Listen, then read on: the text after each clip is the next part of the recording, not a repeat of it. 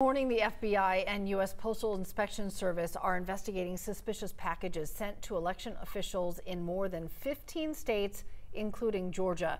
So far, no injuries have been reported. Preliminary tests show most packages contained harmless substances like flour. As early voting begins, local election offices are ramping up security measures. They say they want to protect workers and try to ensure a smooth election process. The National Association of Secretaries of State condemned these threats, emphasizing that our democracy cannot tolerate political violence.